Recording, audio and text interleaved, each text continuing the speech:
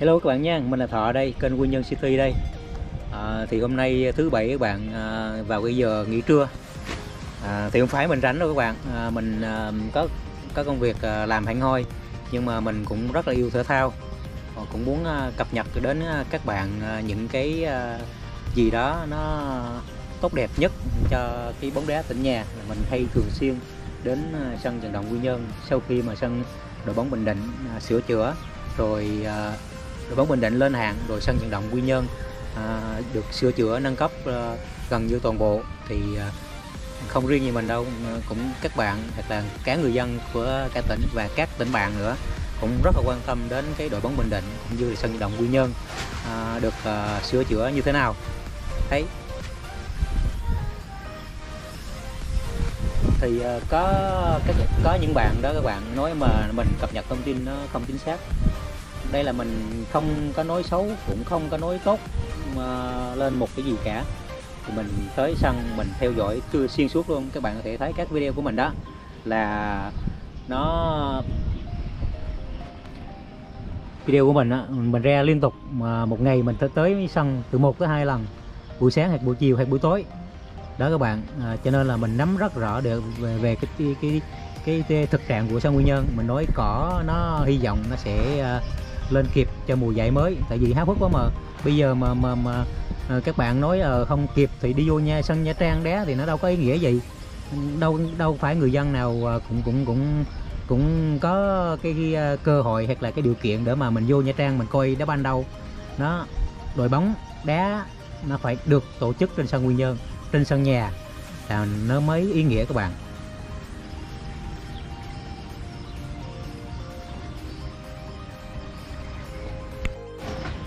À, thì đó các bạn à, cái mặt cỏ sân Quy Nhơn à, mấy ngày nó vẫn như thế này đó các bạn. À, cái khả năng mà nó khả năng mà nó lên xanh á, thì chắc có lẽ là rất là lâu.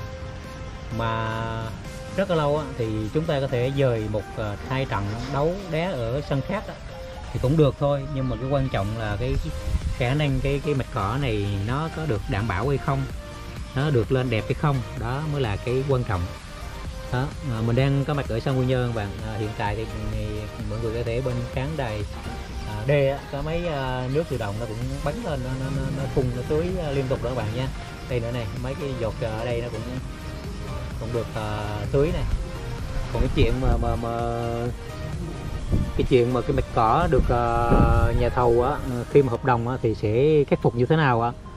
Thì uh, mà thọ sẽ tiếp tục uh, cập nhật cho mọi người biết thì theo thông tin đó thì thọ biết là nếu mà cái mạch cỏ này không có được ờ, làm đúng theo cái hợp đồng đó, thì sẽ là bắt cái nhà thầu chịu trách nhiệm các bạn nha.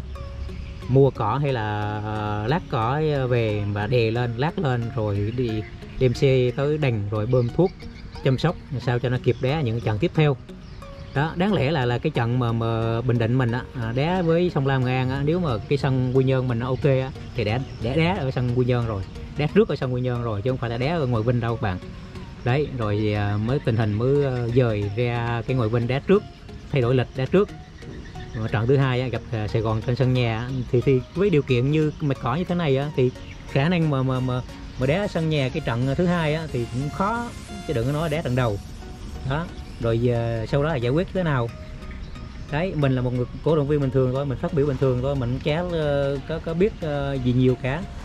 Rồi không biết là ban lãnh đạo của sân với của sở thì thì họp bàn thế nào để mà giải quyết cái mặt cỏ này. Đấy là mình làm những cái video này là muốn là tâm sự với mọi người.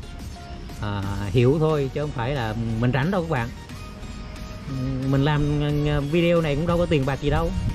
Cho nên các bạn đừng nghĩ là mình rảnh là mình đi nói cái này thế kia nha các bạn. Đó các bạn, thì cái thông tin thọ nhận được ờ, là sớm nhất là có lẽ đầu tuần là sẽ được ờ, ờ, lợp một lớp cỏ mới lên. Đấy các bạn, chứ không thể cái cỏ này dùng được nha. Cỏ này dùng được thì nó sẽ chậm tiến độ, nó sẽ hủy hết các cái kế hoạch trên sân Quy Nhơn. Mình nhắc lại nha, đá ở sân Quy Nhơn mới có ý nghĩa thôi, chứ không phải là đá ở một cái sân nào đó sân mượn nào đó thì nó đâu còn ý nghĩa đối với cổ động viên Bình Định nữa với đội bóng Bình Định nữa. Đó cho nên là thông tin mình nhận được ờ, là cái cỏ này để được ờ, làm lại nha các bạn. Có thể là trải thảm ờ, một lớp cỏ mới.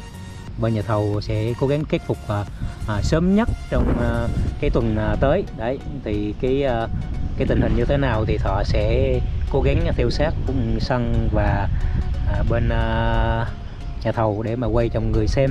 Đấy thì mọi người đơn giản mọi người ủng hộ thì uh, ủng hộ thọ bằng cách là là coi hết cái video này và nhấn vô đăng ký. Nếu ai chưa có đăng ký thì đăng ký cho thọ. Đấy đỡ kênh ờ, thọ phát triển. Đó, chứ còn tiền bạc thì chưa có đâu bạn. Mình làm hồi giờ chưa có tiền bạc gì đâu. Đấy. Đó còn ờ, cơ bản các khán đài thì đang được à, làm vệ sinh. Rồi cái khu bên khán đài VIP thì sơn và chuẩn bị bán ghế lên. Còn các khán đài kia thì các bạn mình nhắc lại cho các bạn nghe nha. Các khán đài kia là đã à, đóng lưới máy kéo và tô lên một lớp hồ rồi cho nó chắc rồi. Và đang được chờ những ngày nắng đẹp. Hai ngày thôi là họ sẽ sơn toàn bộ lại màu lên hết. Chứ không phải đỡ như vậy nha các bạn. Chờ chờ sơn lên thôi. Đấy các bạn yên tâm nè. Thôi video mình cập nhật nhanh ngày hôm nay thôi. Ngày cuối tuần. Chúc các bạn có những ngày cuối tuần à, đầy thú vị và ấm áp với người thân.